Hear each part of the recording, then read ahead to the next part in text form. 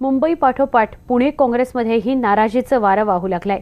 बाहेरच्या व्यक्तीला पुण्याचं तिकीट देऊ नका असं पत्रच ज्येष्ठ नेते उल्हास पवार यांनी राहुल गांधींना लिहिलंय. अतिशय परखड असं हे पत्र आहे. गेल्या चार पाच निवडणुकांमध्ये पुण्यात काँग्रेसचा खेळखंडोबा झालाय.